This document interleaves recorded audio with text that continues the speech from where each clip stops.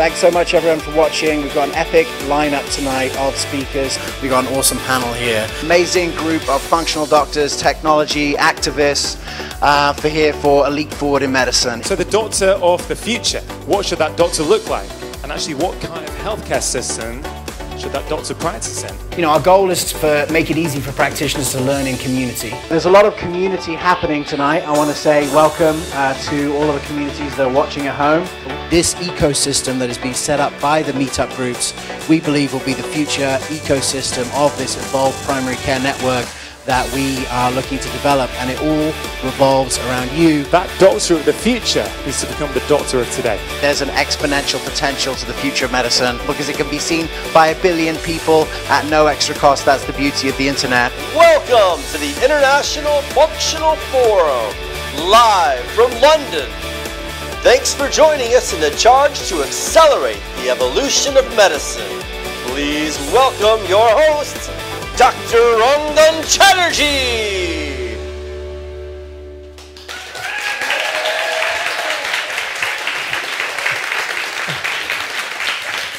Good evening, everyone. Welcome to the first International Functional Forum since the summer break. Welcome to everyone here at the Royal Society of Medicine in London. Welcome to everyone who's watching online, either live on YouTube or on the recording afterwards. The theme for this evening is innovative practice. The format is very similar to what we always have here at our International Forum, which is three speakers followed by a panel discussion. And I am incredibly excited about the topics and the speakers we've got speaking this evening. First thing I need to remind everyone of is that there are a host of meetups going on around the UK, around Europe, around Africa, and around the United States. In fact, all over the world, we've got 500 registered meetups. And the idea of these forums really is whether you're going to watch them live as they're happening, either in the UK or in America, the idea is that you can get together in your local communities and get healthcare professionals together, friends and family, invite your local doctor. And the idea is you watch these together. There's plenty on the internet already on the YouTube Function Forum websites where you can actually watch previous ones. And it's an incredible way. So if you're interested in setting up a forum in your community, in your town, in your village, go to meetup.functionalforum and uh, you'll get a lot of resources to help you do just that. Regarding the panel discussion this evening, which is how we're going to conclude things, you can ask questions. Uh, I will be taking live questions here in London, but you can also ask questions on Twitter using the hashtag functional forum. I'll be checking that throughout the evening, and uh, I'll be putting the sort of uh, most interesting and apt questions to the panel. Without any further ado, I'd like to introduce you to the first speaker for this evening. It's someone who is an NHS clinical entrepreneur. She has founded the company Medics Footprints, which I'm a huge fan of what that, um, what that organization stands for. She's a consultant occupational health physician, and I'd like to welcome to the stage Dr. Abeyna Jones.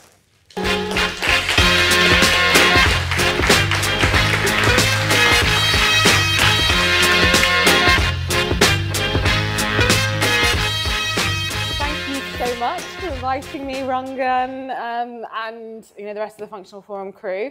I just need to correct you, I'm not a consultant occupational health physician, uh, just in case anyone comes back and bites my ass for that. Um, I'm still a registrar, so, um, and at the moment I'm on a career break. So I just want to ask before I start, how many of you here are doctors? Okay, brilliant. And how many of you um, would deem to see yourself as kind of um, actively within an alternative career? Awesome. So um, for the purpose of this uh, talk, what is alternative careers and what is innovative careers? So an alternative career from my perspective, is a career that is um, off the beaten path, non-prescribed and created by the individual. Um, so in reality, alternative careers aren't anything new. I mean, we've been innovating as uh, practitioners and as doctors since the beginning of time. But the only thing that has changed, uh, especially quite recently, is that doctors have been looking for other alternatives because they've been pushed from their, their current healthcare settings. They're, they're no longer happy, they're disenfranchised, and they realize that actually there's a wider world beyond the conventional pathways. Um, and so this is exactly where I start. So you're probably wondering who am I and how did I get here? So I'll kind of run through my backstory. Um, so I I, I, was born in London, so London girl born and bred. I went to Nottingham Medical School, um, just about got in, so I, could, I thought I was an imposter for most of my five years. I was like, what was I really doing here? Passed my exams, and then came back to London, did my foundation years, and then I thought, you know, I was getting somewhat frustrated because even though I enjoyed my clinical practice, I did feel a bit more of an administrator than I'd like. Um, there was a lot of tick boxes, there were a lot of things that I needed to get done, and it just, you know, just really got to me. So I, I basically applied to work in South Africa, um, which was a bit random because I'd never been there, no ties whatsoever, and um, I, I, then got the fear and then applied for core surgical training and actually did that instead because um, all, my, all my peers were doing it. So it just seemed to be the right thing to do, just, just stay on that track, I'll get there eventually.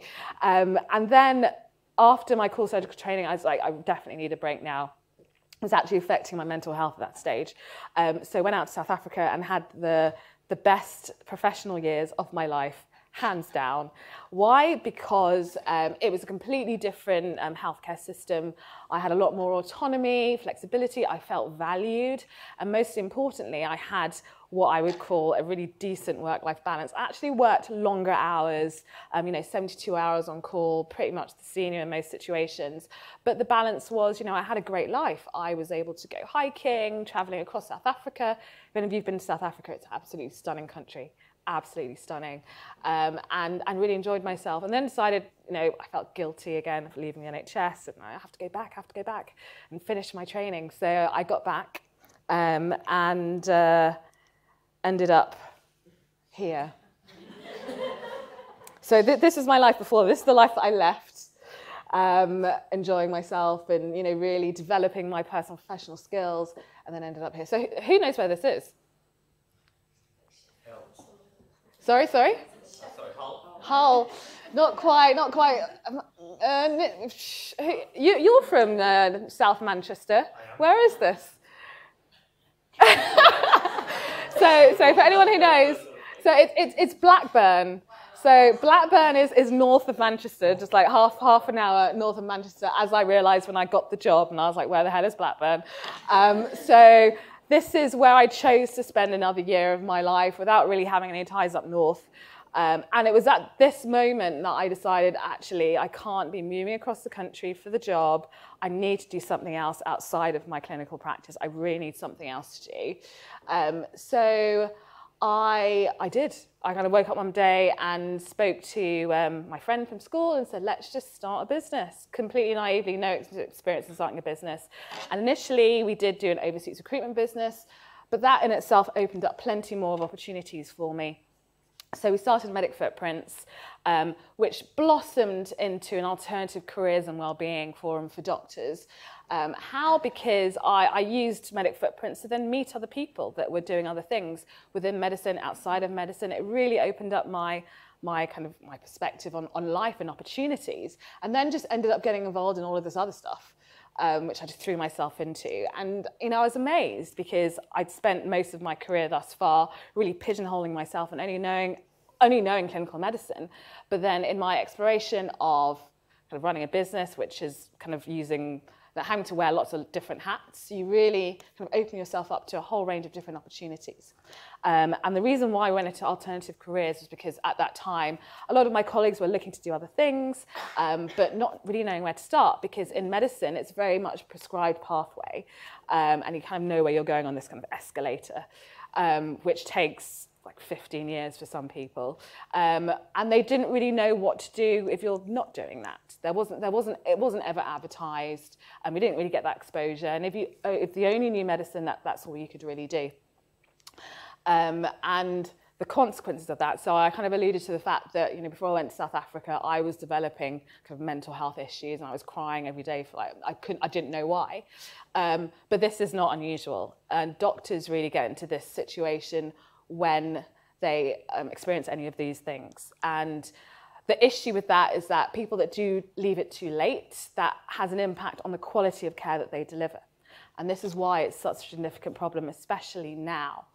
Um, so I, I, as an occupational medicine doctor, so that that's basically the specialty that deals with work and health, um, I see a lot of doctors kind of just pre or at crisis point.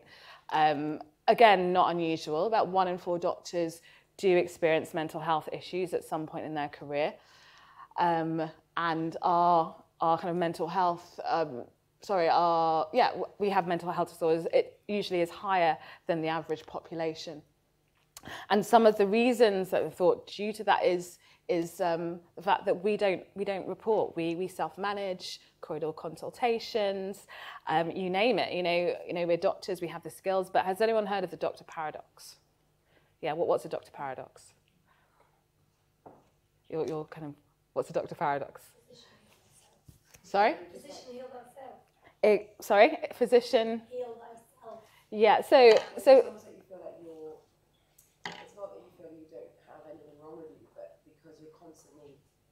forefront front line of facing people that are unwell, you don't see it in yourself. Mm-hmm, mm-hmm.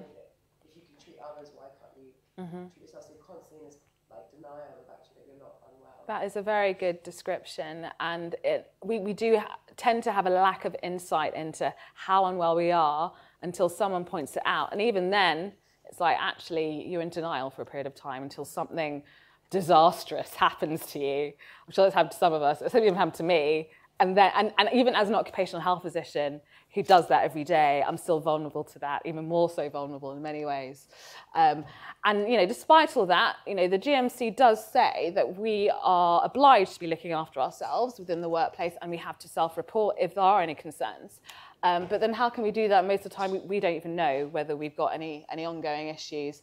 And that you know in the past, there used to be a lot of taboo around this subject. This is definitely improving over time, but still an issue because we were never really um, advised on how to deal with the hazards at work, which is the, the mental and physical and emotional hazards of actually being a doctor. Um, and uh, we're always advised to put patients first, right? Patients first.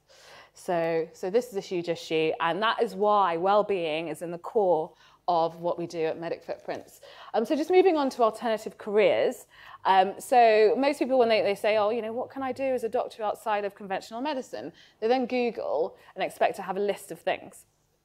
Um, well, there is a list of things, but you know, I say, you know, don't don't Google this. It really depends on you as an individual. It really depends on what are your passions, what are your priority in life.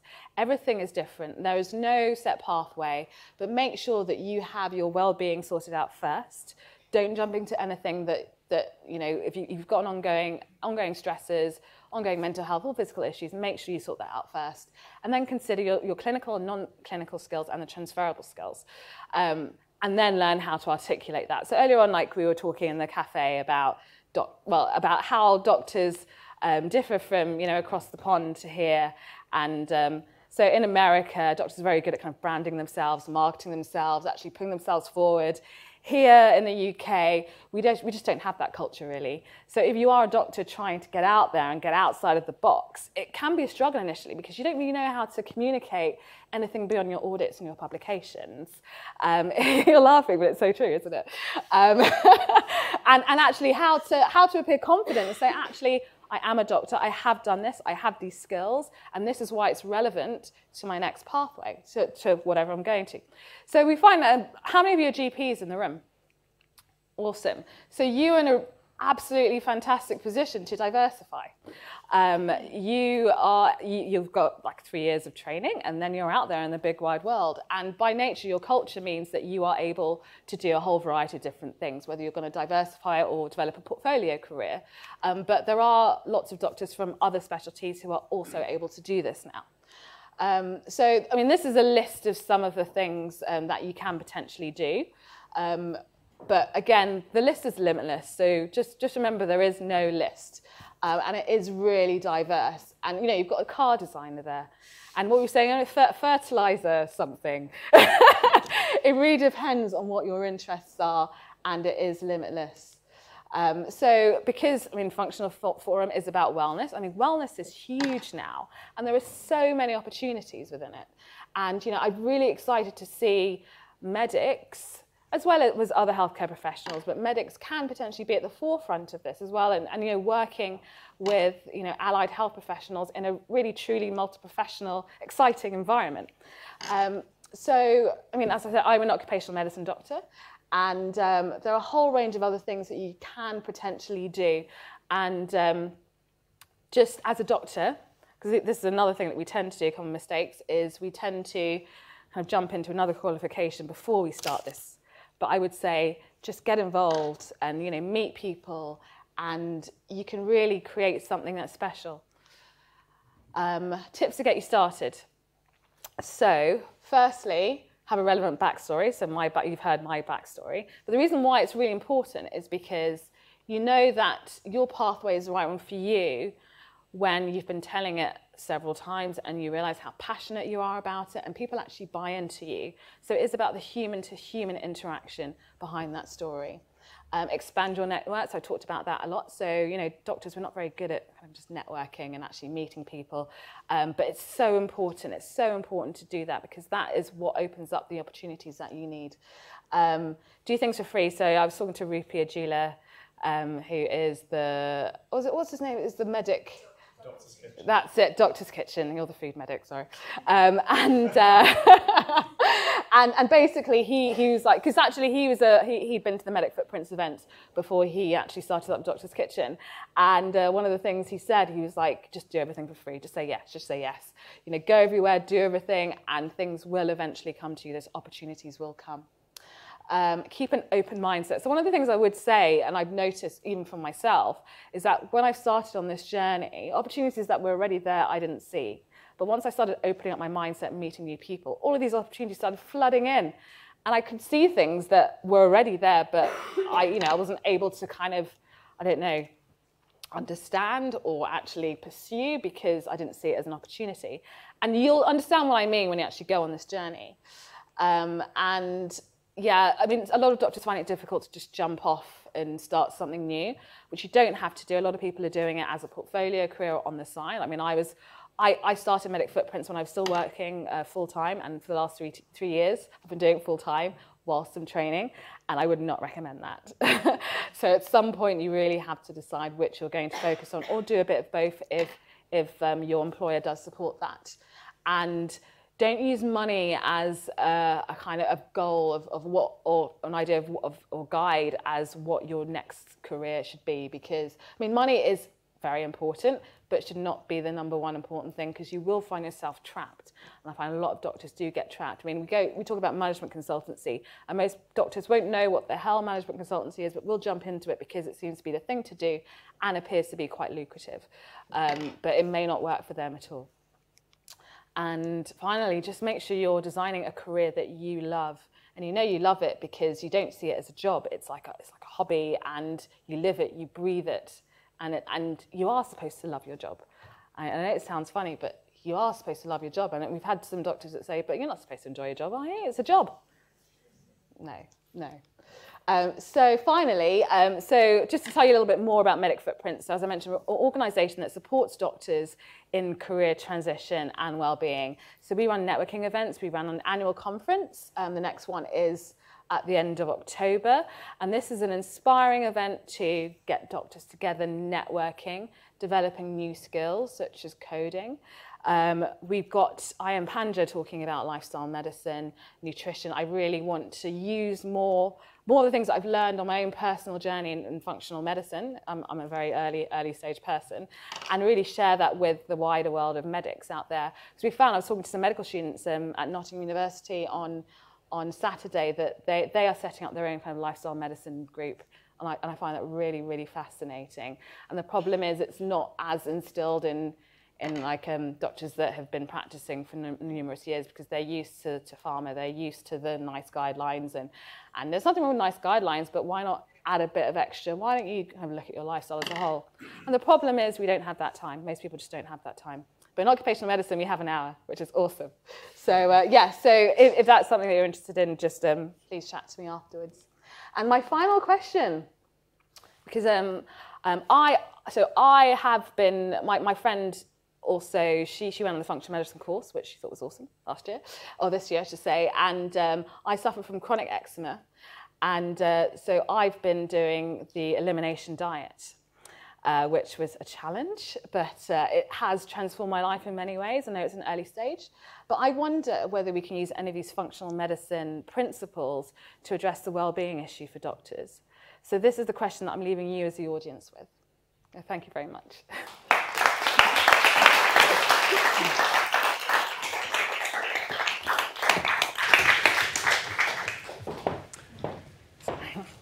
Abeyna, thank you. I think that was just a fabulous talk. Um, I think medic footprints and the concepts you spoke about, I don't think have ever been more necessary than they are now.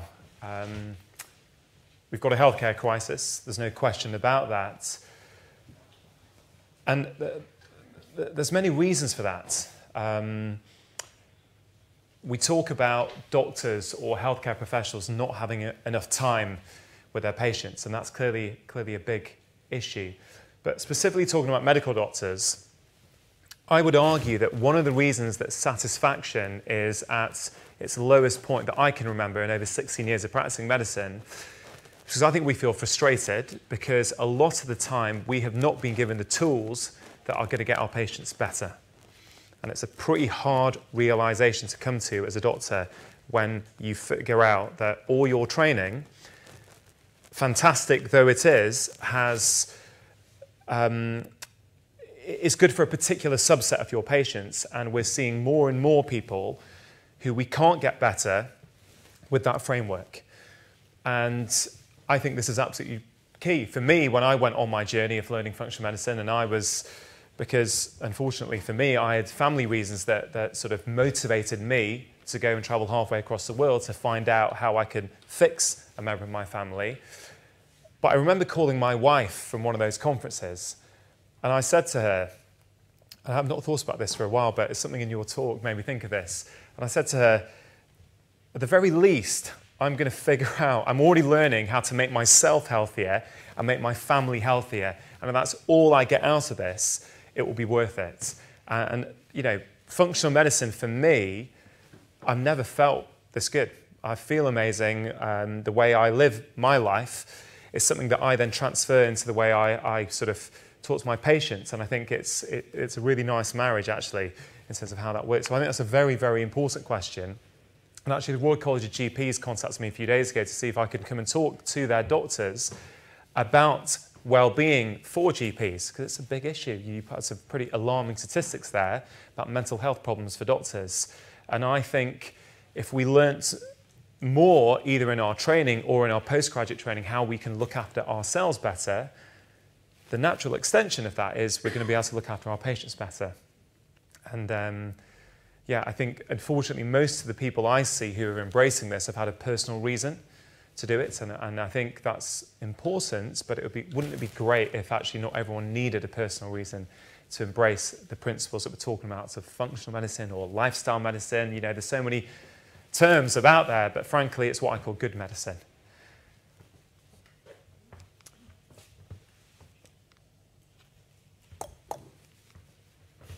This is freezing, but uh, I can keep going. Mike, can you have a look at that whilst? So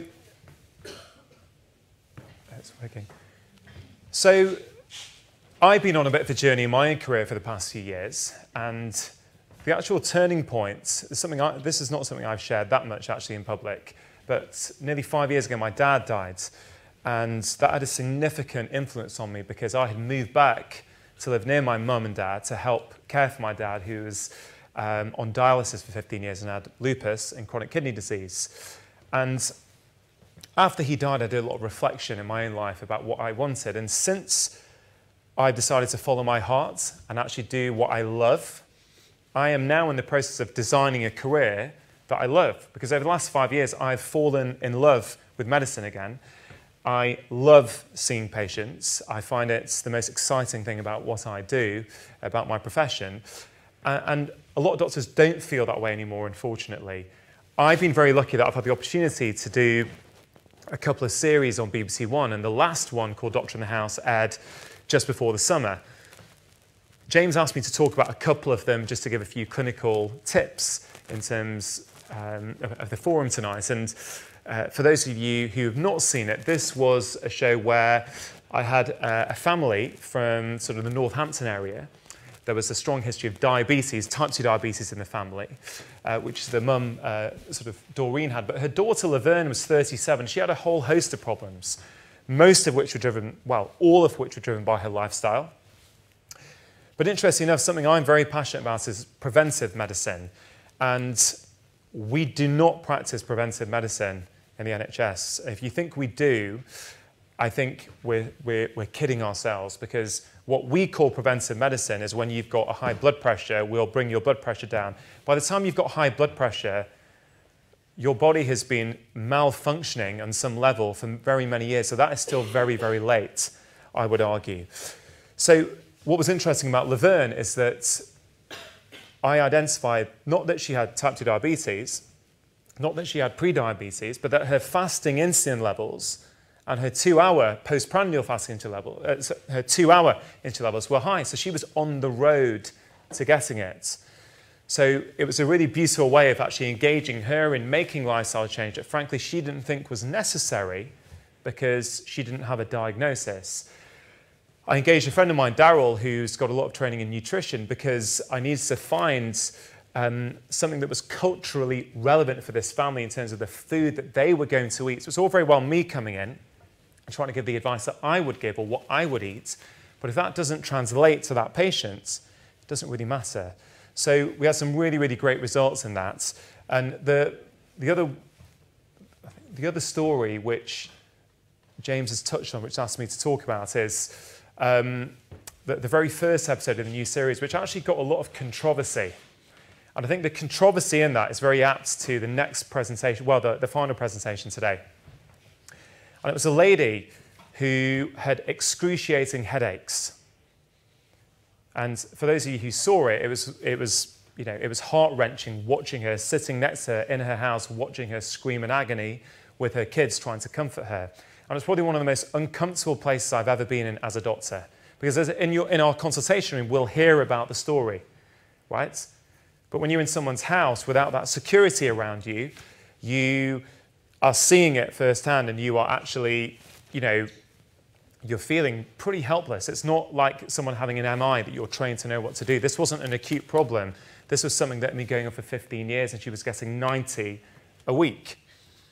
So the upshot is we managed to get them down, and I say we, Mike here was a huge help to me throughout this whole process, um, from 90 down to two a week, something that neurologists over 15 years had not managed to do. So the question is, it's not that I'm better than those neurologists, and it's not actually that I had more time with them than their neurologists, because I examined how long she had with those neurologists. It's about a fundamentally different approach, and it's about an understanding of what true evidence based medicine is. I won't elaborate too much on that because I know John's going to cover some of that a bit later. But essentially, with a combination of dietary change, meditation, appropriate supplementation to, to, to do specific things to her biochemistry, and by getting musculoskeletal therapists involved to help her from a structural component, we managed to make her life bearable again. I'm super proud of it. The critique leveled at me was where's the evidence for it? Well, the evidence is there's a lady who had excruciating headaches for 15 years and she didn't have them anymore. That's the only evidence I need actually as a doctor after seeing patients for 16 years. Because the reality is she had tried all the evidence based treatment. She'd been down to all the specialist centres. And actually, when I spoke to one of the top neurologists in the country about this, he was 100% behind my plan. He said, Rangan, this is real life. Okay? She doesn't, she's, our treatments aren't working. What are you going to do? And everything I did with her, worst case scenario, she was no better, completely safe. So I'm very passionate that the way we, we are, I feel as a profession, are doing our patients a slight disservice in how we interpret evidence-based medicine. As I say, John is going to go into that a little bit later. Just a reminder that you can ask questions to me on uh, Twitter with the hashtag functional forum. And uh, I am checking that throughout the evening. I'm not actually ignoring the lectures, I'm actually checking the Twitter feeds to formulate questions for later. And anyone watching live on YouTube, please, please use that as well. So, it's time for the second speaker of the evening. She is a functional medicine practitioner. She's a nutritional therapist, and she's been running her own company, Heartwell Therapy, for many years. She's a corporate health coach, and she's now very much involved in practitioner training. And it's, um, I think it's going to be pretty exciting. She started off as a neuroscientist, um, and she's going to talk to us a little bit about her journey of taking it from the bench to the bedside. It's Dr. Elisabeth Philipps.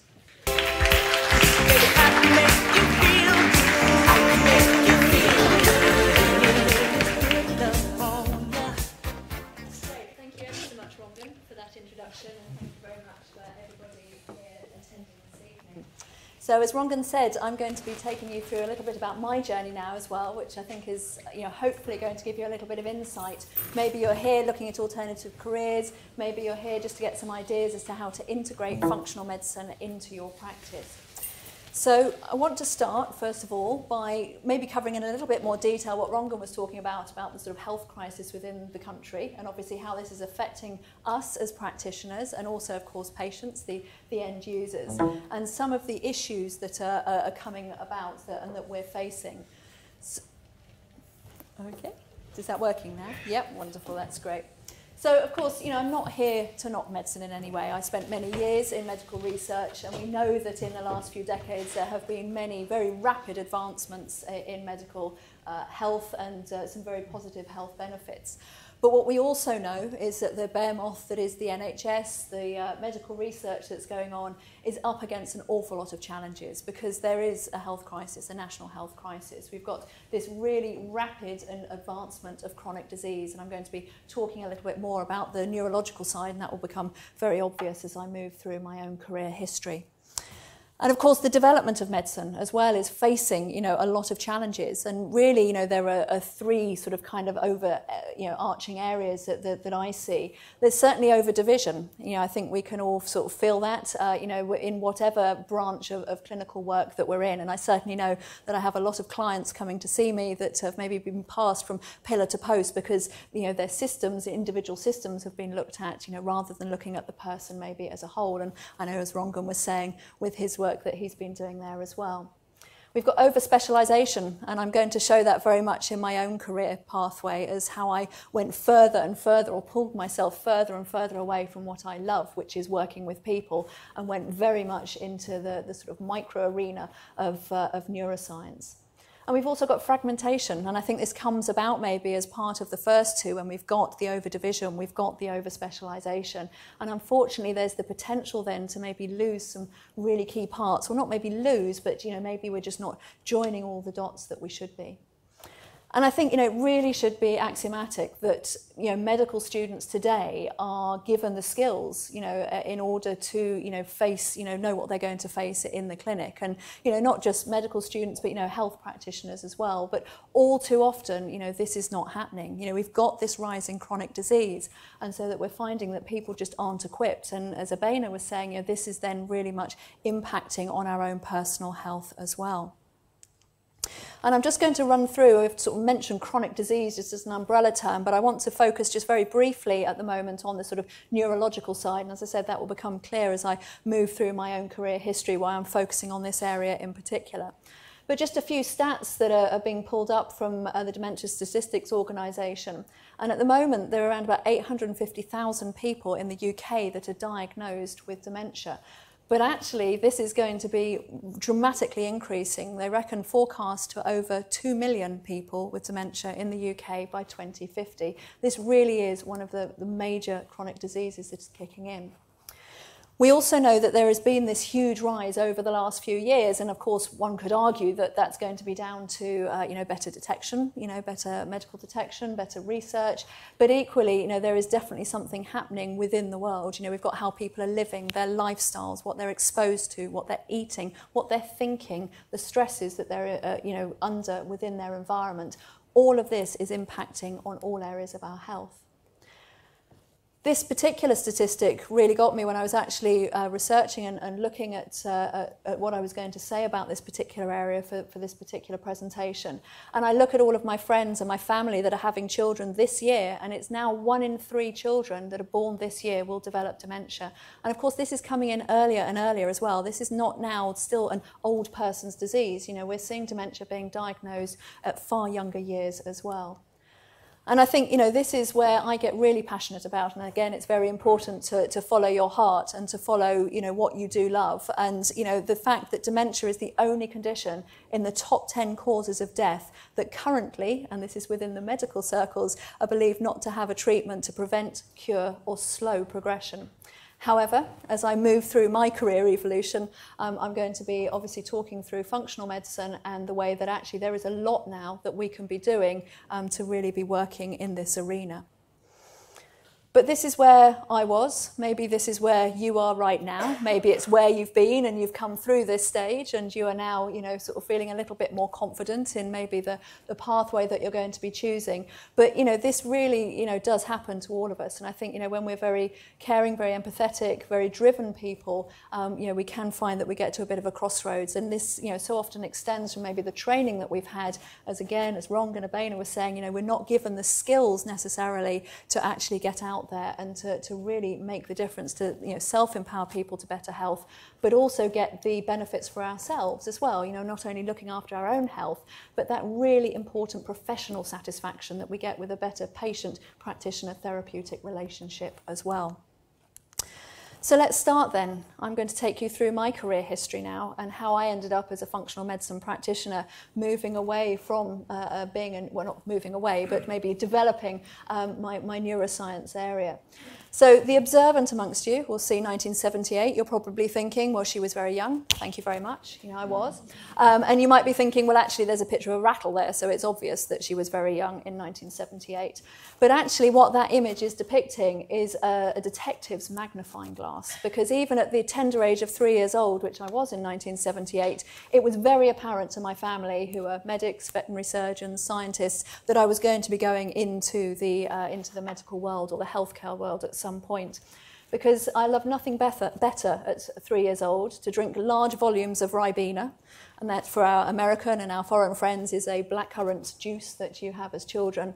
And I would rush up the stairs having drunk very large volumes of this, and I would find the spare bed, which had the springs in the mattress and the springs in the bed, you know, none of, none of that memory foam stuff anymore, you know, proper bed. And I would bounce really vigorously because then I could hear all of the liquid sloshing around in my stomach. And I thought that was so cool. Why did that happen? How did that happen? And, you know, it really is a very vivid childhood memory of mine. I was obviously classed as quite a strange child at times. But it's something that I really did, you know, really did fascinate me. The human body, how does it work? And, you know, this stuck with me as I moved through, you know, why is the body aging? You know, why, why are my parents complaining about old, you know, getting stiff joints? Why are my grandparents getting older? All of this, you know, really did fascinate me. So it moved me through my GCSEs and A-levels and actually into biomedical science, though interestingly I did get a place uh, at St Bart's to study medicine, but in the summer of when I was due to start, I just thought, you know what, I'm not quite sure I'm ready for this. You know, it actually, I felt very overwhelmed by the thought of going into medicine at that stage. So I decided at the age of 18, much to the horror of my parents, as we discussed this one dinner time, that I was going to step away from studying medicine straight away, and I was going to move uh, more into the research uh, and uh, science. So I studied biomedical science at King's College in London, had a wonderful time, and in that sort of umbrella degree in all of the uh, well, biomedical sciences, clues in the name, um, I found neuroscience and the wonderful Professor Webster that really inspired me, and you know this I really felt I'd found at least my, my human health area of, of real interest. And if you ever want to feel this big in the world, and if you ever want to feel like you're never going to know anything the more you study, study neuroscience or neurology. It really is absolutely fascinating. So I moved this through and I was really enjoying myself in the neuroscience area. I did a PhD at Oxford University at the Department of Pharmacology there where I was getting more and more into the human brain. You know, I had my own human brain um, from a, a, a, very good scheme that King's College London had, um, but actually I was moving into parts of the human brain now. So it was getting very, very micro. And I was looking mainly at Alzheimer's disease. So it was very much about the pathways involved in Alzheimer's disease. And I could still kind of tell, you know, my family, my friends what I was doing, but actually I was getting right down into the glutamate receptor pathways. And this led me then on into my career as a lab leader at Merck Sharp and Dohme, which is, was rather the Neuroscience Research Centre, um, which uh, was uh, funded and run by Merck and Co., though unfortunately has, uh, has now been closed down because there is no money in um, neuropharmacology uh, in terms of drug targets. targets. There's just too big a placebo effect um, for some of the, the drugs that, that, or the targets that we were looking at. But I had a really, really happy few years. You know, I was really enjoying myself, you know, running a team of 18 scientists, looking in absolute detail at what was going on in the brain. And, you know, it was something that, that was fascinating. And I thought you would be really fascinated to see you know, my research that I was doing. And this is how detailed it was. I wasn't just looking at the glutamate receptor family. I was looking at the NMDA or the N-methyl D-aspartate family. And I wasn't just looking at the assembly of the entire pentameric ionic channel, so the five subunits. I was looking at just two of those subunits. And I wasn't just looking at the entire protein sequence of those subunits, two subunits. I was looking at the cassettes of amino acids within the N terminus. I can see you're all fascinated of the NR1A and the NR2A subunit. So I'm now going to do a spoiler alert. If you don't want to know what happens, if you, you know, decide that on your way home this evening, if you decide that you know, after the presentation you want to rush out and start looking at some of the seminal work which I presented around the world at, uh, various international meetings on these glutamate receptors, then block your ears now. I will wave my hand when I'm done. See a few people, that's really good. So the spoiler alert is, does the NR1A subunit assemble with the NR2A subunit to form this functioning NMDA receptor? Yes, it does. And that, my friends, was six years of my life. Now, what can I say? I was a strange child. Um, so, you know, it's something that I am really proud of. Don't get me wrong. You know, this is seminal research. This research is still being carried on. You know, it's still being developed. There were various PhD students after myself. I was working uh, with teams looking at this. It's really important to understand what is happening in the brain. You know, understanding these glutamate receptor pathways. You know, these are really key. But actually, it wasn't doing what I love. You know, it really wasn't. And it was something that, you know, left me still confounded. You know, how can I actually make a difference? How can I make an intervention? You know, it's, it's all very well if I know which amino acids in the N-terminus of the NR1A subunit are a problem. But that doesn't help me help directly somebody with Alzheimer's disease. So this got me thinking, and actually, my hand was forced in terms of my career change. I, I, wasn't given the luxury of some time to think about it particularly and develop my ideas because I suffered from burnout. You know, the, there was no doubt that the career that I'd chosen, I was working for an American company and I was traveling to the States an awful lot. I was working in a very high pressured environment. It actually led me to burnout. And so my hand was forced and one might say it was a very bleak time and it was a very difficult time because it was a very fast, very debilitating illness. And I had to totally reconsider uh, what my whole lifestyle, not just my career. And I consulted medical professionals, some very eminent medical professionals at various clinics. I've consulted a lot of research neuroscientists and a, and a lot of uh, very eminent professors in the area, but nobody could help me. Nobody could, you know, really give me the answers maybe that I was looking for, at least some clues, you know, of the sorts of things to look at. So as I said, you know, this might seem like a really bleak time. You know, this might have been a time that, you know, I, I you know, could have given up and changed totally and, and done something totally different. But what did I do? Well, of course, I did what I know how, and I researched the heck out of what was going on in me and how could I make a difference. And, you know, this didn't involve Ribena and jumping on beds, by the way, because jumping on beds when you have chronic fatigue syndrome is not something that's, that you're capable of. So I found a much more elegant solution, and that was nutritional medicine. And it's something that really transformed my life, but then also has now enabled me to go on and really help empower others. And it's the self-empowerment of other people um, that, that I'm really proud of. So I did a nutritional medicine degree. Uh, you know, it was still in keeping with, with what uh, my background is, but to move very much more into the macro area, back out into the whole human body, which was quite a relief and uh, did a nutritional medicine degree and now run my own clinic, Hartwell Nutrition, and uh, also do, uh, as I say, the practitioner education and the coaching as a part of that. And all that has organically grown uh, over time, you know, taking a lot of the advice that Abeyna had said, you know, in terms of making sure that, uh, you know, you, you get yourself out there, you network, and uh, you never know, you know, what might come from that. And within the nutritional medicine, um, I found functional medicine. You know, I've been practicing for a number of years now, and actually, you know, the functional medicine approach, you know, just makes perfect sense. It makes perfect sense to my researcher's mind, but it makes perfect sense to a health mind. And just a quick show of hands, who here has done the AFMCP training? We've got a few. Excellent. Okay. Well, there's still a lot more in this room. and, you know, that, that's, you know, what I can say is I know I've put this image up here, which, you know, might seem a little bit, you know, overpowering, uh, you know, a bit too much information on one slide, especially if you're new to the functional medicine area. But functional medicine is very much systems based and it's very much evidence based but the importance is is that we're looking at the root causes of disease. And you know we're taking the person as a whole and we're working with the person. It demystifies disease which i think is so important. The fear factor surrounding disease labels in itself can be you know as huge almost as the actual effect of the disease. And again you know i speak from personal experience when you're told that there's nothing that can be done. It's a really scary prospect So functional medicine, as I say, it works, you know, looking at the root causes. This is why the, the um, IFM, the Institute of Functional Medicine, use this sort of tree diagram, um, looking at all of the systems as well. And it's a, a really very powerful tool and one that can be implemented, you know, throughout, uh, you know, many different practices. This also then leads us on into P4 medicine as well, which is all part of the functional medicine um, arena. This was devised by uh, Leroy Hood, Hood um, back in the, sort of the early 2000s, around about 2003, who's a very eminent uh, scientist and also, you know, very much a systems-based, you know, his, uh, his approach.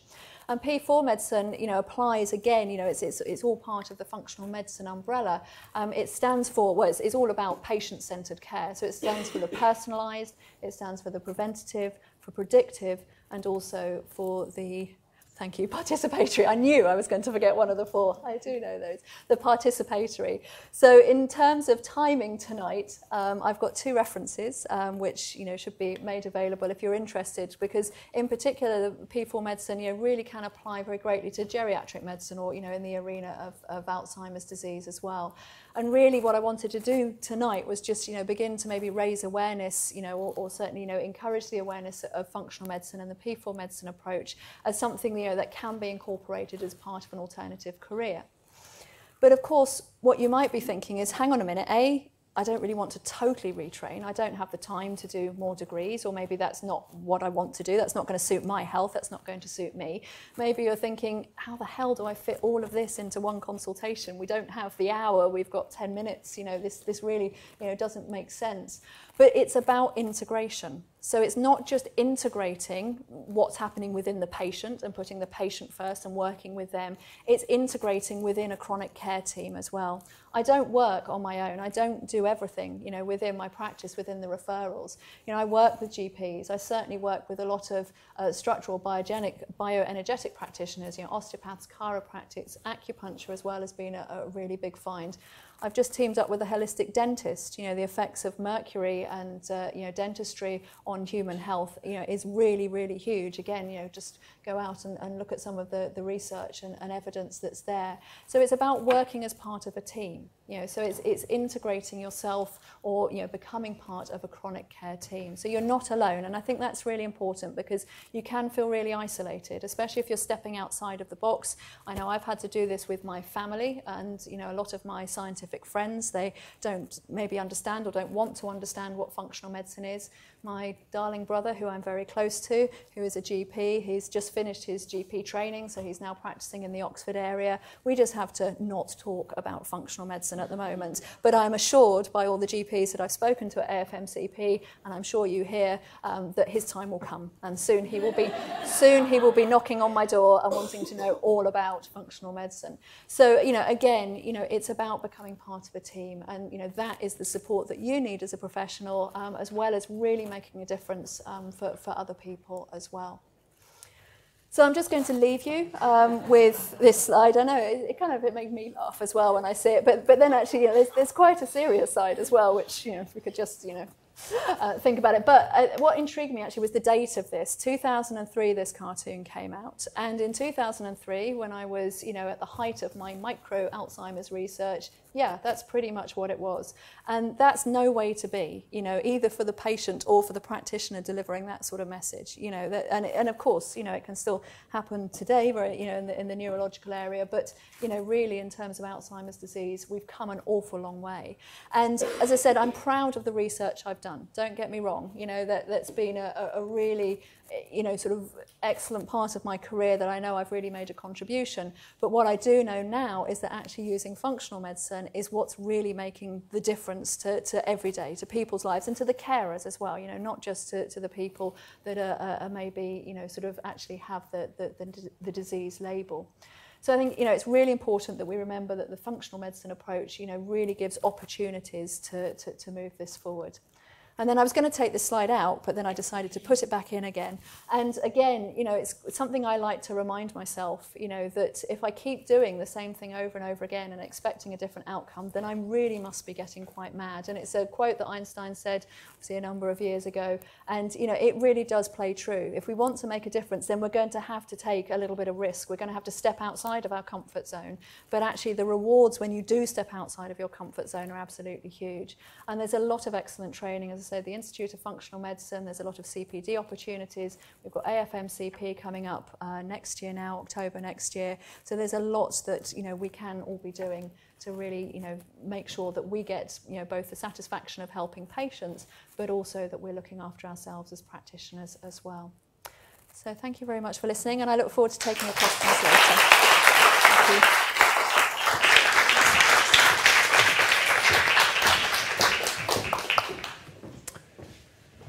Thank you very much, Elisabeth. Super interesting, actually. Thank you for sharing your journey. Um, I think it's quite important for, you know, I, I, saw on the show of hands before that a few people, uh, you know, a, a, small percentage, a small to medium, I'd say, percentage have, have actually done a functional medicine course. Um, and I think the term sometimes can be confusing to some people. So you, you mentioned your brother who's just finished GP training. And I think what starts to get people thinking differently is when they see the frustrations of clinical practice and when you know the, the ceiling is of what we have been taught how that helps people. And I think it's quite important for, for any doctors watching or any sort of watching on YouTube or doctors here is that it's not separate from what we've learned. Okay, it's just an extension. It's a, it's a framework. It's, it's a different framework. It's a different lens through which to look at your patients. So everything you've learned so far in your training and in your practice is absolutely still as valid when you're seeing patients. It's not as if you, you can't do that anymore and instead you, you've gone to the other side. No, you've just got a bigger toolbox to help your patients with. So it's not either or. And I think that's something that sometimes not everyone gets. It's just adding to your toolbox. You've just got more, um, more ways to help your patient. Sometimes you won't use things from that toolbox. Sometimes you will. Um, but, it, but really, it's about an approach. It's about a different approach because you can read blogs, you can read articles, but then you need some way of putting it all together to help the person in front of you. And that's what it does incredibly well. So, this event is put on by Clinical Education in the UK, but also the Evolution of Medicine, uh, which is primarily based in the US, but has penetration all over the world. And James, who, who's one of the co-founders of the Evolution of Medicine, he's very keen that people don't just hear good lectures or you know they go on courses and then they go back to their sort of normal lives because it's a real issue, and this is something Abeyna touched on before in terms of how do you then go about utilizing the skills that you may be learning in real life practice. I, certainly, speaking as a medical doctor, I know that we get very little training on business. Uh, we're very much ingrained in an NHS model, and the NHS is fantastic. Um, but I don't think it trains us to, to think outside the box. And as you uh, pointed out at the bar before and in your talk, I think medical doctors in the UK feel that the NHS is their only outlet in which to practice medicine, and it's just simply not the case. A lot of people are actually doing NHS work and private work, and they're, they're having a bit of a portfolio career, so they're able to you know, do the 10 minute appointments uh, and, and serve the NHS, but also do the one hour appointments where they get to really enjoy practicing medicine uh, and really help their patients. So, how do you do that? How do you learn how to do that? I mean, we've got, um, you know, later on on the panel, we've got Hazel Wallace, the food medic, who's clearly got a very uh, skillful sort of business and entrepreneurial brain to, to be able to, at such a young age, sort of develop uh, such a strong and powerful brand uh, as you have done, Hazel. But I think many doctors don't have that and don't get exposed to that. And so I think it's worth having a look at what the evolution of medicine offers you. Someone in America who's done their course, Lara, she calls the Practice Accelerator program is a personal trainer for your entrepreneurial muscle. And I think that's quite nice actually.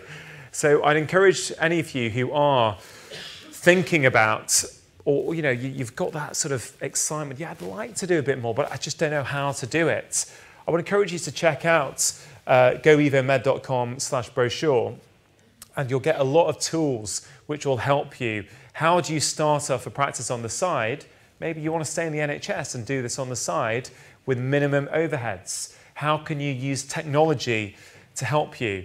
You know, they've been doing it for a few years. They've, got, they've been through multiple iterations, and, and I certainly wish I had access to this you know, five or six years ago. Um, so it's just worth saying, if any of you are interested in, in, in sort of learning some of those skills, I, I, think the courses on there, this online training course, is, is going to be very beneficial for you. Final reminder about the panel discussion later. Please do ask any questions uh, on Twitter. For those of you here, you can ask it straight to me, but anyone watching on YouTube, please do use the hashtag functional forum, and I'll try and get through to those questions uh, later on during the panel discussion. So it's the time for the final speaker of this evening, and it's, it's quite exciting for me to, to introduce the next speaker. It's someone I have looked up to for many years. I remember maybe 2005, 2006, reading some uh, articles in the mainstream press. I think it was in The Observer from recollection, um, from this doctor who was actually been practicing uh, using nutrition and lifestyle as his sort of first line medical interventions uh, for a whole number of years. He has been a practicing medical doctor for over 27 years. That's a lot clinical experience, certainly beats my 16 years by, uh, by quite a lot. So, um, yeah, I'm sure many of you will be familiar with, with some of his writings. He's written nine books, and um, yeah, it gives me great pleasure to introduce to you Dr. John Briffa.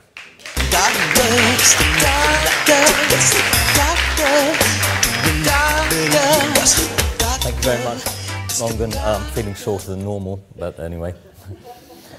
Uh, good evening, everyone. Um, so, uh, what I really want to talk about um, uh, in this uh, session is really the art and sort of science of medicine. I'll expand on that a bit later on, but I've also been asked to talk about how I sort of got out, escaped, if you like, uh, conventional medicine and got into the sort of work that I, I do now.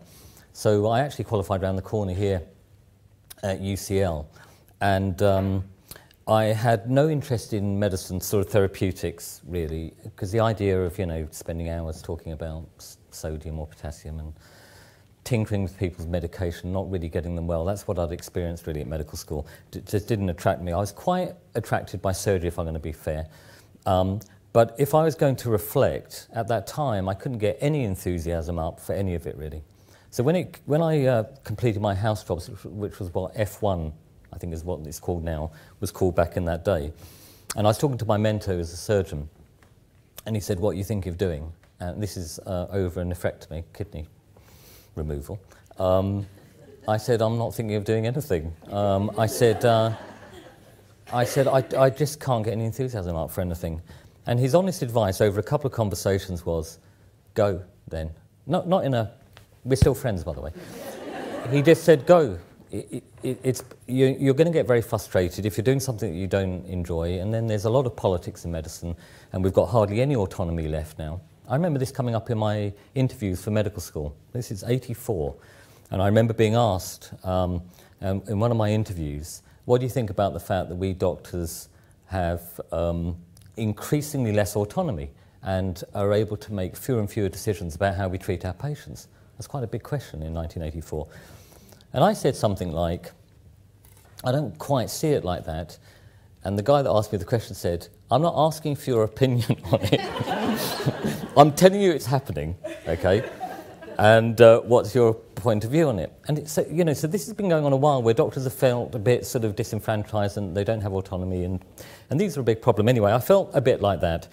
And, um, and so what I decided to do was take some time out. So to keep uh, body and soul together, I started to do some locums. And I, um, I started to do those, you know, contemplating my life and my navel mainly. And then what, I, uh, basically, what basically happened, a few months into this, I was uh, seeing some patients that were due for operations in the afternoon, so I was doing a surgical locum in a hospital up in a place called Newmarket, if anyone knows it. And uh, effectively what happened was I saw an elderly man uh, who I think he was mid, uh, sorry, uh, early 70s, had never been in hospital before and had never been unwell and he'd come in with an inguinal hernia from digging his allotment. And um, I just really, I liked him, and I'm quite an informal person, so I was chatting with him, and um, and I said, well, you really never, you know, because when you clerk someone in, normally someone of that age, and it's, you know, you have to do ECGs and all sorts of stuff, and I didn't have to do anything with him. He was just perfect to go, basically. And uh, I actually at that time was suffering from a few health issues of my own, and some of you may have got into this area partly through health is- issues. So uh, I put on quite a lot of uh, excess baggage over my time at medical school, eating a diet mainly based on things like kebabs, kebabs and Kentucky Fried Chicken and Kronenbourg 1664. So I wasn't very healthy, I'll just say that. I'd also had uh, lifelong eczema, uh, although despite the fact that both my parents, uh, they're now retired, but were um, community paediatricians. No one had ever diagnosed that until I was halfway through medical school. and then I went to, um, I went to, uh, I was going to go to Thailand and I needed to get some jabs for it. And I went to the sort of, you know, the student GP surgery at UCL. And uh, it turns out that the GP had been a dermatologist. And she said, right, take off your shirt, I'm going to give you these jabs. And she looked at my chest, and it was all under my arms. And sometimes my arm would actually stick to my, like, my chest, like it was so. And I think there was fungal involvement. And that was probably related, I realise now, to the fact that from about the age of 11 or 12, I used to self sort of administer, prescribe antibiotics from under my parents' bed for my chronic tonsillitis. No wonder I had some fungal involvement, if you understand. Anyway, so I was in a bit of a mess, but my most pressing problem from a health level was the fact that I felt rubbish a lot of the time, particularly in the afternoons. Um, and I had no idea what was causing this, but it got so bad that I remember, you know, being taught supposedly in a clinic setting, you know, UCH or somewhere, and you'd be sitting there, and then someone would say something like, "Look, if I'm going to teach you, you need to do some work. So can you get up and take that patient's blood pressure, or something like that?" And I'd be so tired, I'd actually want to say, although I didn't, I'd actually want to say, "You do it." you know, I was knackered a lot of the time. And obviously, when you start working as a, as a doctor, and now your sleep is you know, contracted for different reasons than it was when you're a student, basically, I felt terrible. Anyway, as a result of this, because of this patient, I said to him, whatever you're on, I'd like some of. Because, you know, I'm a third of his age and he's got twice the well-being. And I just thought, you know, I need to do something about this. So I said it rather glibly. Uh, but he took me sort of at face value and he said, look, there's a, a few basic things uh, that I think that are important. Now, this guy had been in the army, and I don't mean this at all in a disparaging way. He wasn't particularly sophisticated, you know what I mean? But he had very good ideas, and he said, look, physical exercise is important. That's why I cycle every day. My knees are slightly creaky, so I cycle. I do my, uh, he grew organic vegetables. But he had a very good outlook on life, I felt. And what really clinched it for me um, was that he was visited the next day after his hernia operation by his wife, similar age, And she walked onto the ward, and he got up out of the bed, and I remember probably the, the analgesics had worked off a little, you know, worn off. So he gets up, he goes over to her, gives her a big hug, okay, and I'm on the ward and I'm looking at this, I'm thinking that's very nice because it's actually quite warm. It's like a proper warm embrace, not a, you know, not a British one, a proper one. and, um, and I, so he spotted me because I'm on the other side of the ward, and he turned around, so his wife's there, and she can't really see me behind, but he's turned around and then he went like that. and um, I thought, right. the other thing he was doing, uh, it was he, was he was taking supplements as well. Now, that, that was really unheard of then, okay? Um, and basically, he'd been listening to a radio broadcast and someone had been banging on about antioxidants. He thought, well, I'll try some of those. So, anyway, um, that afternoon, after the operating list, I had to go into Newmarket Town to buy an iron because the doctor's mess one had broken and I like an iron shirt. And um, as I was, it was a sort of covered area, I remember, and I sort of went past, I think it was a Holland and Barrett, but outside there was like a carousel of books. And this conversation was still a little bit in my head, and I thought, I'm going to buy a book. I didn't have anything, I was a locum, so I didn't have any friends. So I thought, I'll buy a book and I'll read that. And I started reading a book about nutrition. I can't remember exactly what it was, but as I was reading it, I was thinking, I mean, this is actually very important. You know, this made sense. It made more sense to me, honestly, in that couple of hours I was reading it than my six years of medical education, to be perfectly frank. And I thought, right, I'm going to start changing a few things. So I sort of had a hunch that maybe dairy was causing my eczema, so that sort of went for a while. And I also, I suppose, scaled my, back, my diet down to what now would be called paleo. It's basically a natural unprocessed diet, so I took out a load of, excuse my language, crappy carbohydrates from my diet and started to eat some proper food for the first time in the whole of my life, basically. And so what happened uh, very quickly was within a week, my eczema disappeared. I mean, it just absolutely went, went, disappeared. The itching went, just everything. So I felt a lot better about that. Um, and in about six weeks, I'd, I lost a substantial amount of weight without hunger. But also within two weeks, I had all my energy back. So Rangan was talking about this earlier. And, um, you know, you feel great now you probably feel better than you did maybe 20 years ago or something. Do you know what I mean? It's not uncommon for that to happen. And so as a result of that, I was thinking, this is actually quite important. Now, it could be a massive placebo effect, but I don't know. So I think this is probably quite important, and I start reading more about it. And then I took a bit of a leap of faith, and I just started a practice, basically, doing this sort of work. And what I found very, very quickly is exactly as Rangan said, I suddenly felt like I had some skills and some knowledge that, I, that could actually help people. And I was seeing people that had problems that I, I, think as a conventionally minded doctor I had no clue about, and it didn't fit the description, and that's not a syndrome, and blah. And then suddenly I was thinking, well, this person's got a fundamental problem around blood sugar. This is food sensitivity here. This person's overgrown yeast or whatever it was. I mean, it's quite simple. But, you know, these things are important because they're common. And so as a result of that, I basically ended up sort of specializing in the area of medicine before it really was an area of medicine, if that makes sense. I mean, it's a little bit fringe now, but uh, to be perfectly frank, back then, you know, about 25 years ago, there was nothing in this area basically at all. So the education had to be a bit sort of ad hoc, and I sort of went over to the States a bit and did a course here and there, and sort of got my uh, education rather piecemeal. I don't um, in any way regret that, but now there are structures in place for people interested in this sort of medicine so that you don't have to do that and hop around the place because you can sort of enroll on something and get all of the information that you need. So over the years, basically, I've taken, uh, I still prescribe a little bit, but very rarely, to be honest. Um, uh, so, uh, I mean, even when I'm, for example, treating thyroid disease, you know, I don't really look at it like I was trained to, and I don't really believe that TSH is the sole arbiter of someone's thyroid status, like some endocrinologists might. I thought it was a bit rich, actually, that uh, when you were talking about uh, the headaches, and um, there was that sort of controversy about the fact that, uh, you know, where's the evidence? And this probably came from a few neurologists. And I don't know what you know about neurology, but generally it's useless. It's a sort of diagnostic speciality, generally. Elizabeth, is that is that fair enough? We di- I know we didn't confer before on this. It's a sort of, it's quite diagnostic, so they come up with a long name for something, and oh, that's very clever, and blah, blah, blah. And then they can do hardly anything about it, usually. It's the reality.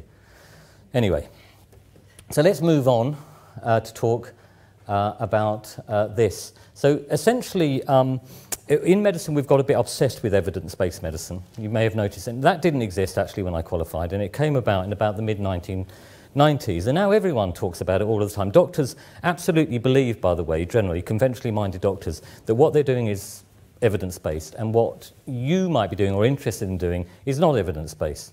So I'm interested to know actually whether medicine is evidence based or not. And it's not easy to find out, but someone has bothered to actually look at this properly. And there's a, a, journal called Clinical Evidence. It's a sort of offshoot of the British Medical Journal. And every so often, they review all the conventional medical therapies and see which ones have been subjected to proper trials, randomized controlled trials. And then they come up with a figure. This has been proven to be beneficial. This looks harmful. This stuff we don't know about. Anyway, does anyone here know currently what percentage of conventional medical approaches have been validated and shown to be positively beneficial? 35, that's a good guess, but you're way too high. It's about 10, it's actually 11%. It's this group here. Now, I don't think in the area that I work in it's any better, to be perfectly frank, because, you know, a lot of the approaches that we may take may be informed by some sort of science or research, but have they been rigorously tested in a sort of clinical setting? No is the answer. And the question is, does it matter? Because you could argue, basically, what is um, evidence-based medicine really all about? Well, this is one of the fathers of evidence-based medicine. Uh, he died a couple of years ago, Professor David Sackett. And if you read this, his, this description, basically, that he has of evidence-based medicine, you'll notice here that the first thing that he mentions, really, is this. The practice of evidence-based medicine means integrating individual clinical expertise and then goes on with the best available external clin clinical evidence. And then he goes on also to say here that basically clinical expertise means the proficiency and judgment that individual clinicians acquire through clinical experience and clinical practice. Okay? Now, this is, I think, really, really important because if I sort of reflect on my practice and I'm really honest about it, I think probably a tiny fraction of what I do in clinical practice uh, has been validated in a way that some doctors would view as appropriate and necessary.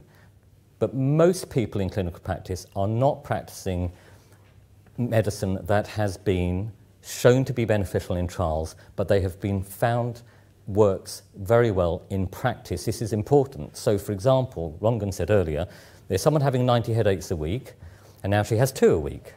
Okay? That's the sort of evidence that we would tend to find quite useful. And then you've got a bunch of neurologists going, not interested. I remember having a sort of semi argument with a neurologist at a party once. And um, it was very interesting actually because he was quite normal to begin with, okay? and then when we got onto the subject of medicine, he went very professorial. He went, mm, everything changed. His, his mood, his, his accent, everything changed, okay? And we, we were talking about migraine. I don't know, I mean, obviously, I'm a huge wow at parties talking about migraine, but anyway. So he's, we, we somehow got talking about migraine. And uh, it's, not a, it's really not a condition, as Rangan knows, and many of you will know, that's particularly well dealt with in conventional medicine. And I said, well, there's probably approaches, this is years ago now, about 20 years ago. I said, look, there's probably approaches that you could take that might help your patients, actually. And he said, mm, like what? And I said, um, magnesium, for example. Uh, and he said, Well, what's the purported mechanism of that? And I actually think I do know maybe what's going on there, but I didn't want to sort of rise to that particular bait. So I said, I don't know, and why does it matter? You know, it's safe and it appears to work. And he said, Well, how could you possibly use something if you don't even know the mechanism? This, I'm thinking, what is it? Are you actually interested in helping your patients? Or do you want to score some intellectual points? Do you see what I mean? And that's one of the problems that we have in medicine generally. It's a bit sort of intellectual, not necessarily focused on the patient. Now, here's another little um, thing that I found. This is in the British Medical Journal. This came from an orthopaedic surgeon. Um, and there'd been some sort of uh, articles on evidence-based medicine. And basically, he's saying this, you know, if I smack my thumb with a mallet, you know, it hurts. How many times do I have to do that before it's sort of evidence-based, okay? Uh, it's really two fingers up, I think, to the evidence based medicine crowd that believes that it all has to be ratified. And the other thing I liked about this, okay, this is a typical orthopaedic surgeon, you have to declare competing interests. These are his. Uh, I like hammers and power tools. He's just like, you lot. Anyway, I've got a lot of time for orthopaedic surgeons because one thing I've noticed clinically is it generally works. Not always, but it's generally a good thing. If someone's got a completely degenerative hip and nothing's really helping and they have that replaced and they have a whole new lease of life for 10 or 15 years, I would say that's a big success. And that's very distinct, by the way, from many aspects of medicine, including neurology. Endocrinology is another one that I've got a bit of a bugbear about, but let's not get into that right now. So uh, here's my conclusion, really. I think medicine is more art than science, if I'm going to be frank. Um, there is a scientific element to it, and we can draw on whatever research, even in the lab, that's available. But ultimately, it's about practice. And that practice is really art based, I think. And I think one of the important things is this is that if you really want to be effective as a practitioner, um, you have to have good relationships with the people that you're seeking to help. It's, it's a really key thing. And this, I don't know about any of the other doctors in the room, but we were not told anything about this at medical school. Nothing about how to approach patients, how to talk to them, how to get the best out of that situation. Did anyone here have any?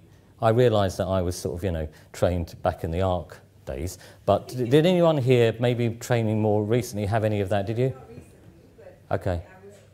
Did you have any? Yeah, I did at St Thomas. Okay, fantastic. What did they teach you? Oh, really? Oh, I missed that memo. Okay, that's good. That's really good. That's anyone else? You did. Okay, you're quite young. You. I don't want to patronise you, but you know that's really good. It's great that you did. Okay, so here's a few things that I think that are important. First of all, um, when I think about patients, you know, obviously we're there to serve. It's a service industry, health and medicine. It really is. You're trying to serve their needs on some level, uh, but but actually you get something out of it as well. So when I think about what I know, right, yeah, some of it I've been on courses and whatever, but actually what I know is essentially what my patients have told me over the years. That's really what I know. You know, what works, what doesn't work has come from basically experimenting on people and seeing what sticks and what doesn't. And so every interaction that you have with a patient is, is a two-way process, right? They get something out of it, we hope, you also get something out of it. But to make that as productive as possible for both parties, okay, we need a good relationship. So one thing that I would suggest here that's quite useful in practice is, that, and I feel like I'm teaching some of you to suck eggs here, but this is important, a, a bit of humility goes a long way. So don't assume any position of superiority in any way, shape or form, I would say, intellectually or anything. Just be human about it. Um, now, I read uh, an article that uh, Jeremy Hawkett at um, Nutrilink sent me, and it was written by Mike Ash. He's sitting there. And it, basically, the title was, correct me if I'm wrong, it was something like, Are we too judgmental to be good practitioners, or something like that. Was that right?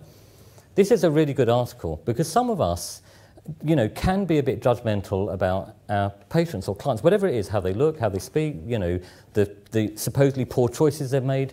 That's really got to go. Even if you don't say, What did you do that for, or why are you doing this, or whatever, it can leak out of you, okay? And it's not a good, you know, they, they need they need to feel that they're being respected, of course, okay, and heard, and it doesn't help if we're judging.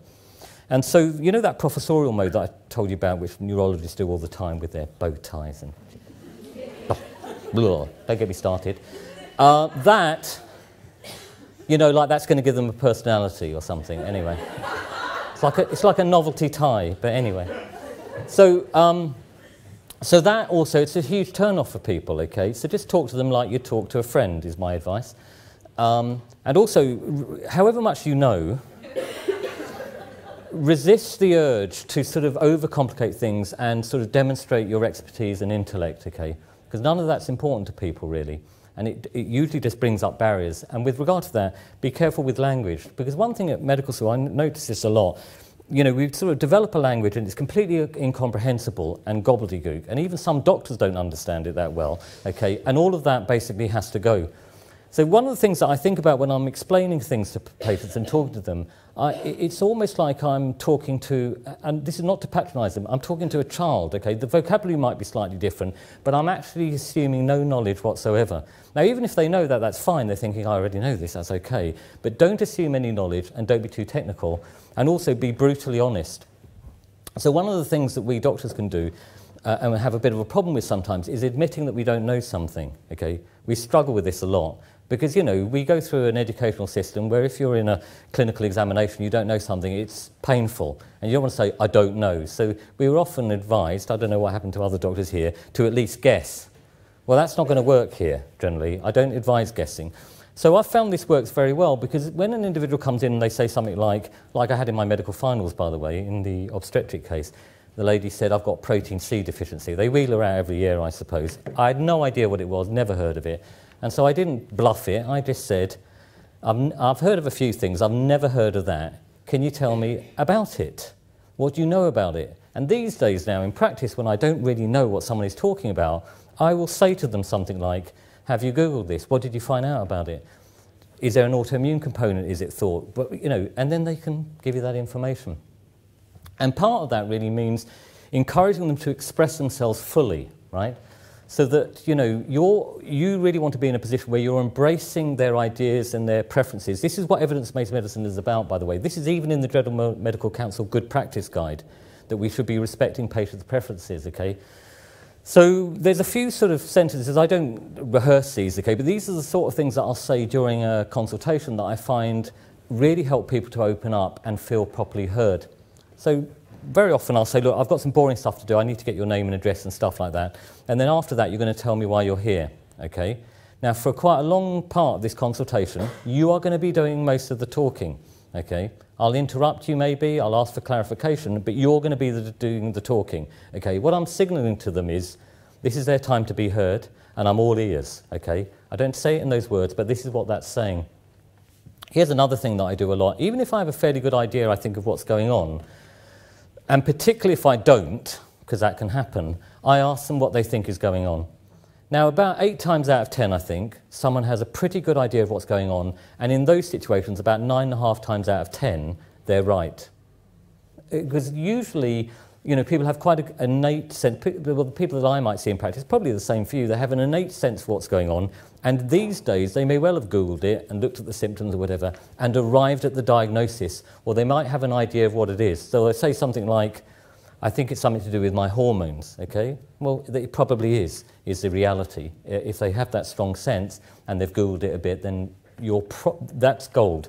Now, what's happened um, more latterly, I think, in medicine is, you know, uh, you know, I grew up in, in an area, and I was talking to someone at dinner last night. I was actually abroad, but anyway, I was at dinner, completely random guy, and uh, his parents are doctors, um, and his father, who's 79, still practices as a GP three days a week.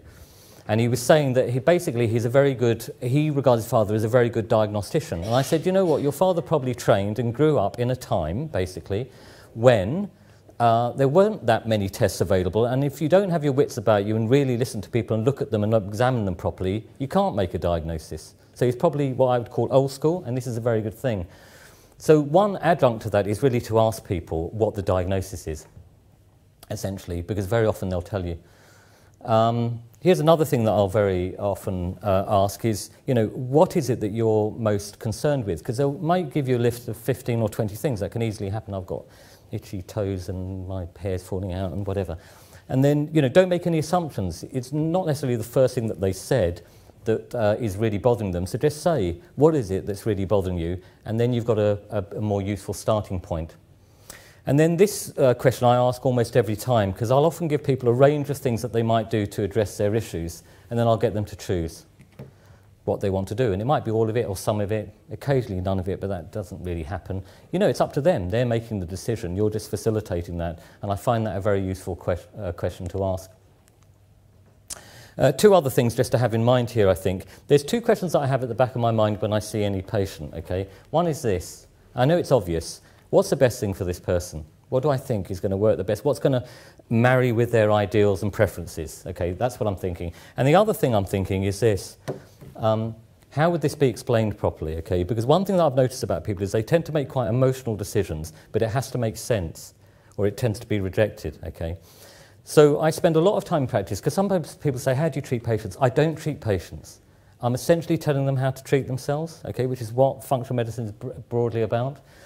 And so I'll, I'll do my best to explain it in a way that makes absolute sense. I'll ask them, do you have any questions about that? No, don't have any questions. And you've got a pretty good idea that they're going to be quite, and I don't mean this in a patronizing way, compliant, that they're likely to go and do it because they feel it's the right thing, they believe in it. And the other thing about this explaining it is it's quite useful sometimes to explain your approach to other people. Like if you write to their doctor, you need to make a case very often, okay?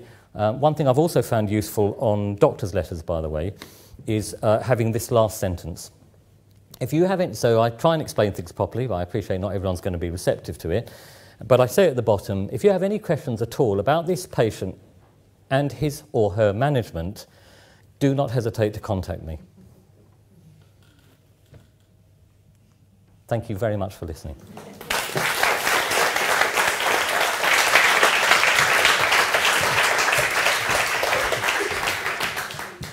John, thank you so much. I thought it was incredible. And I think no matter what our discipline is, I think we can all learn a lot from uh, some of the insights that you shared with us. And yeah, thank you very much for that. So, look, guys, it's now time for the panel part of the evening. Um, any of you who've got some desperate last minute questions to ask, please do use the hashtag functional forum on Twitter.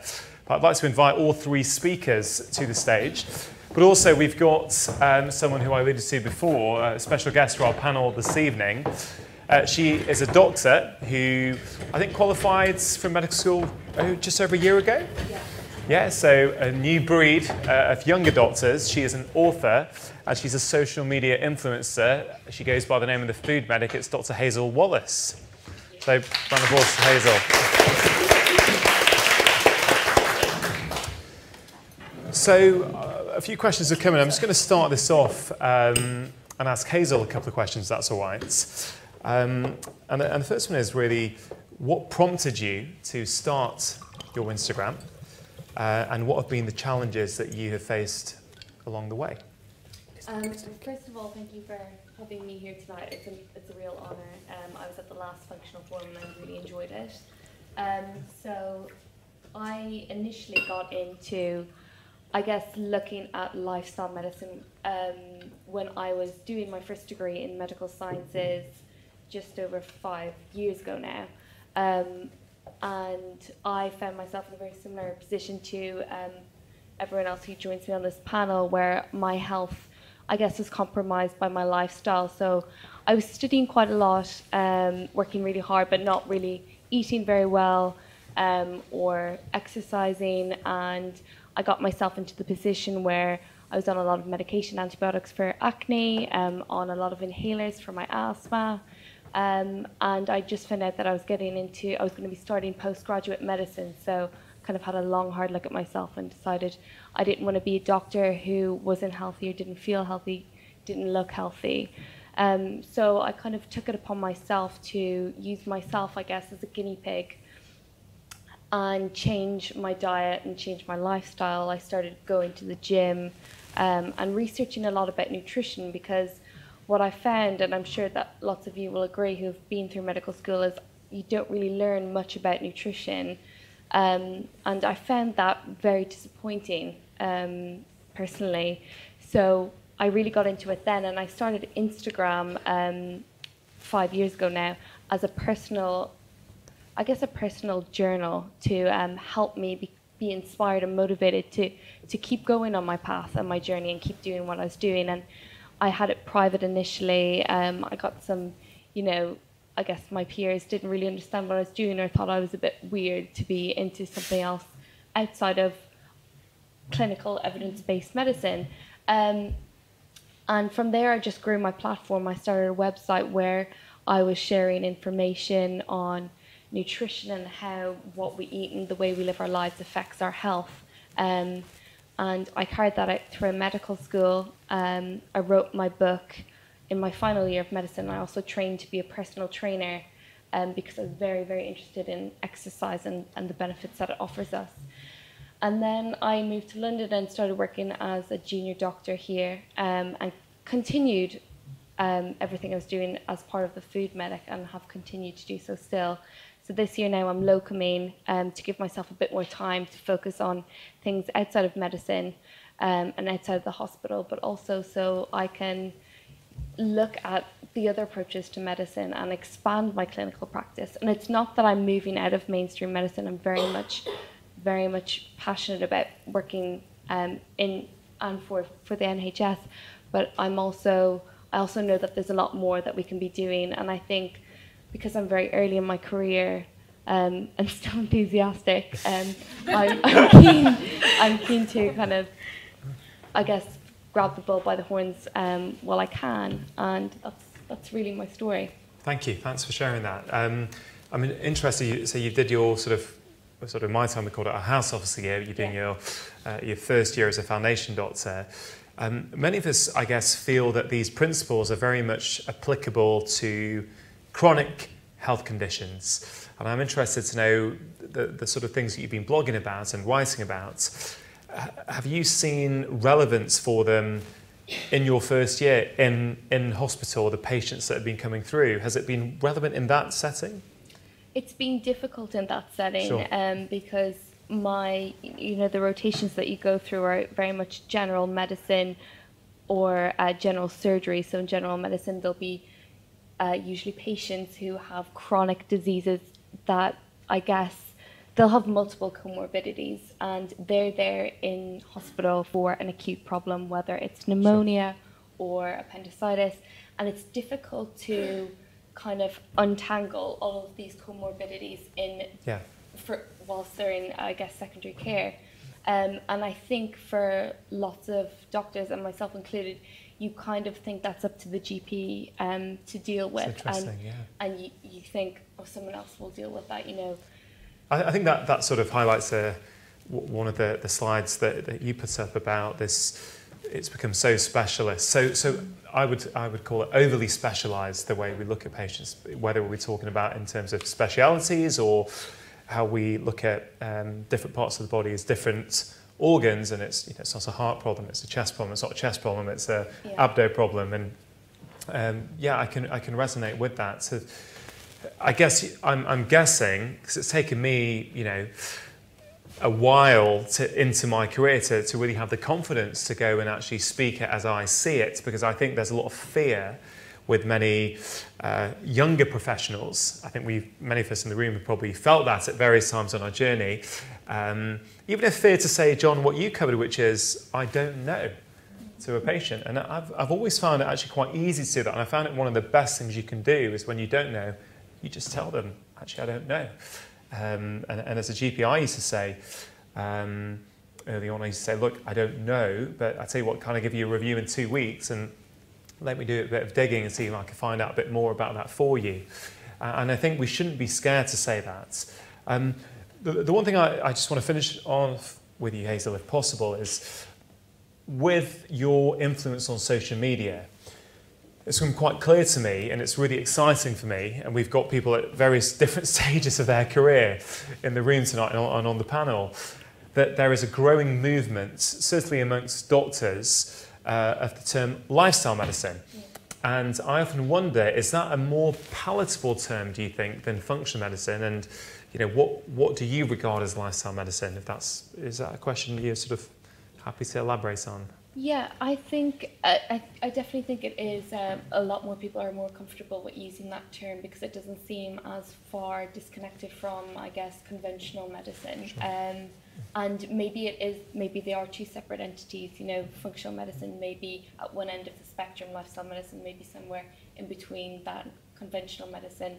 Um, and I think a lot more doctors, I guess, who are maybe at my level of training, and I particularly see it at GP level and also medical students, are, I guess, we're coming through during the health and fitness era. You know, there's, it's currently very trendy to look after yourself and look after your health.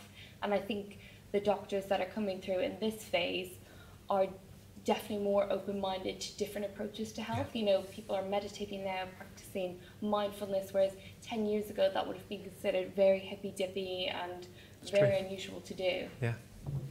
Yeah, thank you.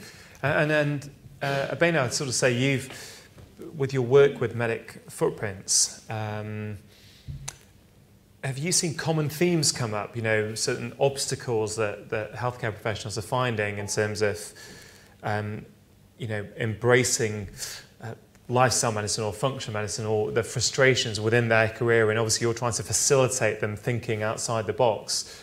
Um, is there anything that you're seeing that you think can speed up this process?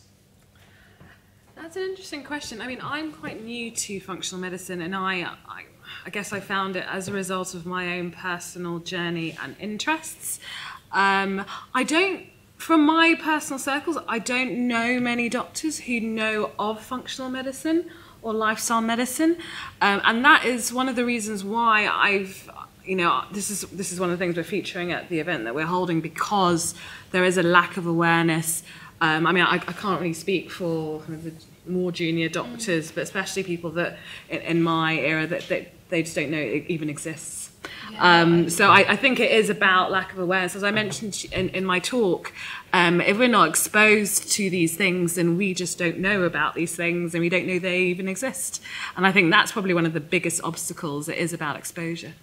Um, but you know, after the wellness medics, uh, we had we had an event a couple of weeks ago that that Hazel ran, which is on the, the the London rooftop gym, and involved about an hour of HIIT training, and then eating really healthy food. And I, I had the best time of my life. And um, Rupy actually took a video, and I posted it on uh, Facebook.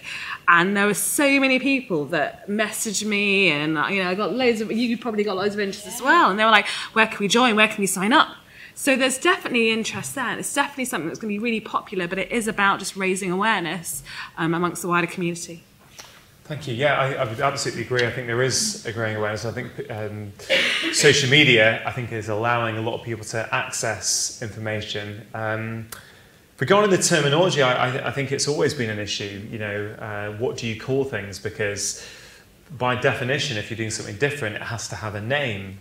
Um, but genuinely speaking, I don't think anything that is talked about in this forum or within the, the education or functional medicine, I, I simply I think it's just good quality medicine that fulfills all the criteria that we were taught about. The problem is the practice of medicine today has moved away from the principles. And you know, it's interesting. Your last slide, John, actually about um, asking the patient what they think is wrong or you know, what they should be doing or what resonates with them, I'm pretty sure, certainly when I was training as a GP, that was a big part of you know, what we should be doing. Problem is, you go into 10 minutes and you, you've got 40 patients to see in a day and these things get compressed and it becomes very didactic.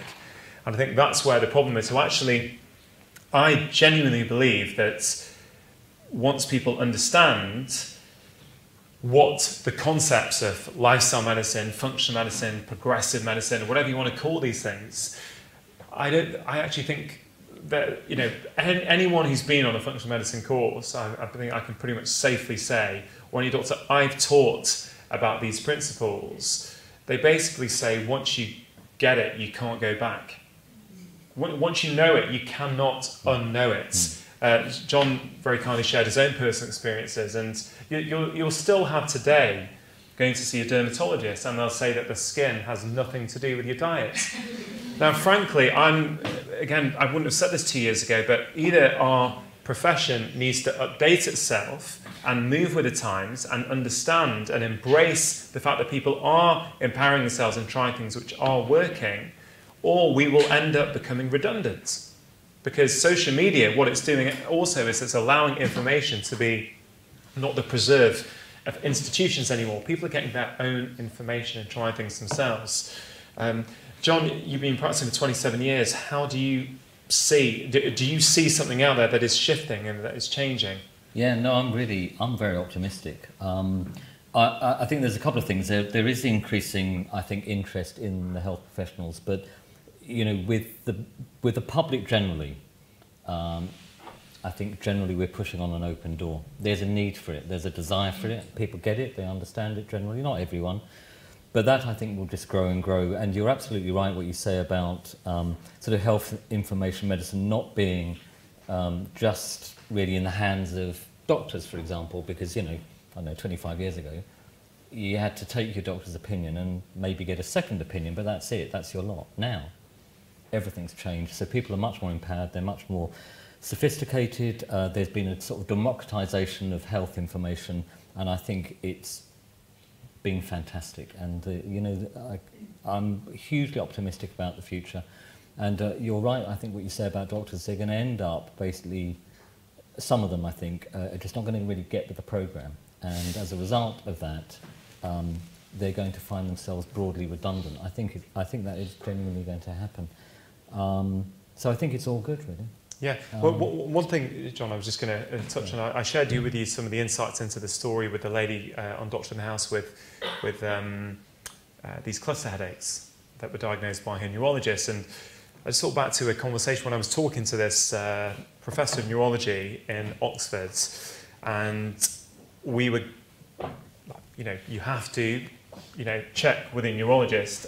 Frankly, I felt very well equipped to manage this problem because although it was symptoms in her head, I thought I had a pretty good idea of what was going on in her body, and I thought felt very equipped. But you know, spoke to him, got an opinion, and what was interesting is trying to tease out the right diagnosis, like saying, okay, she's got she's got criteria for cluster headaches. She's got certain things that suggest atypical migraines. She's got certain things that are suggesting paroxysmal hemicrania. I think on balance, I think it's cluster headaches, as her previous neurologist has said it is. And I said, Prof, can I just ask you, why does it matter what Absolutely. she has? Absolutely. And, and, and this is because he's a neurologist, that's why it matters. No, but he was great. but he, he was great, John. What he said actually, you know what? These things don't matter.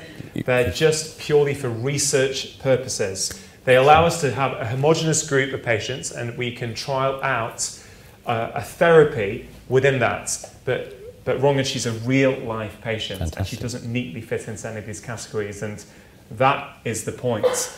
The textbooks are one thing, but then you've got real life patients. And Elisabeth, I'm, I, I'm intrigued to hear the journey that your, your brother goes on over the next few years, particularly with his sister being such a keen uh, and vocal proponents for a different way of doing medicine. So I'm, it's I'm, very I'm, interesting discussions. But I think I'd just like to raise the point there as well about you saying about labels and chasing labels. And, you know, I've said again, it's the fear factor. And, you know, I see so many patients come to me that, you know, don't have a firm diagnosis or a label and they are so scared because things are going wrong and they don't know how to fix it. And we mustn't underestimate that factor. And so, yes, neurologists, where do I start? but, you know, just trying to label something and then sending people on their way is, is not the answer. So, so yeah, a, a much more integrated approach. well, guys, I think we're, we're sort of running slightly over time for our, um, our live YouTube audience. And I'm, I was meant to put on the music pre-panel, so uh, I don't know, James, what you have actually put on there. So let's see what the, the pre-panel music was meant to be. Can I kick it? Can I kick it? Can I kick it? Can I kick It's just noise. Just, just noise. Look, guys, thank you very much for everyone who attended in, in person tonight. Uh, thank you for everyone who's watching. Please, this is just a little reminder to say the whole idea of these is if you cannot attend here, and we have limited space here, it's about trying to set up meetups in your own area, whether it's in the UK, whether it's around the world. There are over 500 already. Go to the website, meetup.functionalforum.com. You'll get lots of resources. I know people who've set them up uh, around the UK and they're growing communities. It's a really great way of actually engaging people in your local community. Um, I feel slightly uncomfortable trying to, to do this, but uh, I'll, quickly say I, I basically try to distill uh, the things that I've learned over my 16 years and through filming Doctor in the House and sort of educating and teaching doctors, I've tried to put all in a book that's really designed for the public because I'm about helping people. And um, as John put it, it's not about putting your brain out there uh, to show people how much you know. It's about trying to come up with tools that are going to help people. Um, I think my own work-life balance will be uh, shortly a lot better once once this is sort of completed and finished. But you know, I, I, I, very much hope that it, it, helps a lot of people. I'm also hoping a lot of the profession read it and use it as tools to help their patients, uh, but also to help themselves look after, you know, look after themselves. The AFMCP course, the Applying Functional Medicine and Clinical Practice course, which I'm not over egging it to say it was probably the most life-changing course I've been on in my 16-year career. And so I would highly recommend anyone who if you who are interested in these sort of concepts and have not done this, it is brilliant. I had to go to America to do it. It's now gaining in such popularity that it's pretty much going to start running every year in the UK.